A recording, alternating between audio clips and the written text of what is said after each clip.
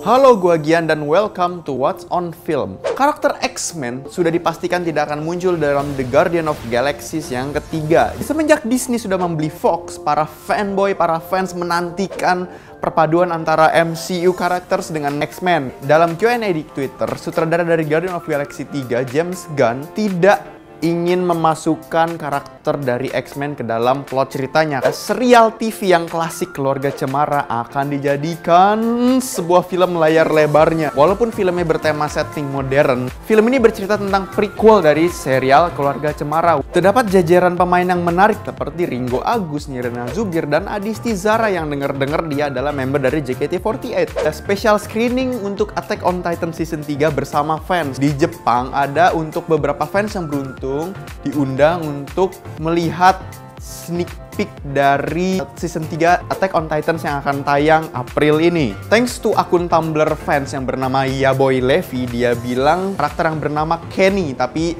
dia cuma bisa bercerita segitu dulu karena dia tidak membocorkan betapa menariknya di season 3 ini. Kita tunggu saja. Oke, cukup untuk What's on Film bersama gua Gian. Dadah.